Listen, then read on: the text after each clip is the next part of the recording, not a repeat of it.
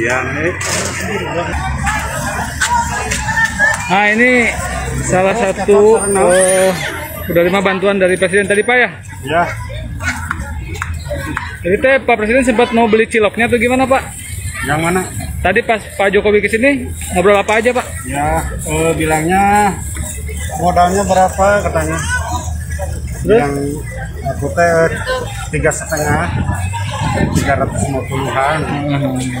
Sempat mau beli ciloknya tadi ditawarin nggak sama Bapak?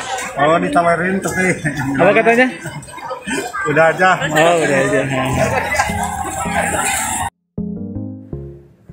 Seorang pedagang cilok di pasar sederhana kota Bandung bernama Amir 58 tahun sempat menawarkan dagangannya ke Presiden Joko Widodo. Namun, tawarannya tersebut ditolak secara halus oleh Presiden Jokowi.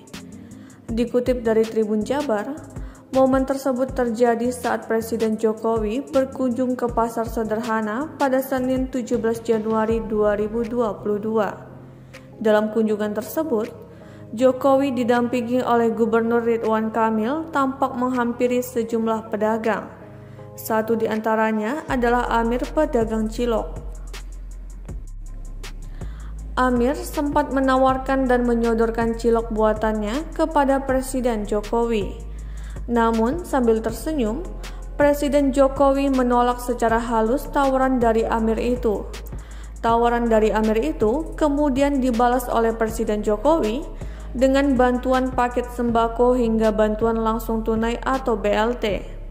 Amir yang merupakan warga asli Garut tersebut mengaku senang mendapatkan bantuan dari presiden. Uang tersebut nantinya akan dijadikan modal tambahan usahanya.